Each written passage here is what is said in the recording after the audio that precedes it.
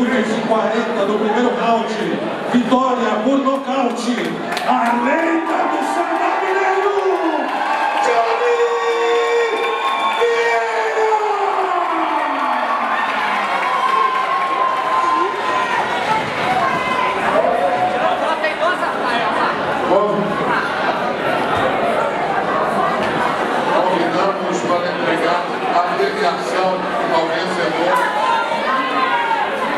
fisioterapeuta da clínica Selectus, uma das mais importantes do estado de Minas Rodrigo Osório.